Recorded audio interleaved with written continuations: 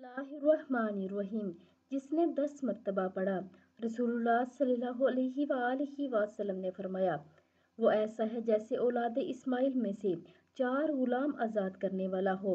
وہ کلمات مبارک کیا ہیں لا الہ الا اللہ وحدہ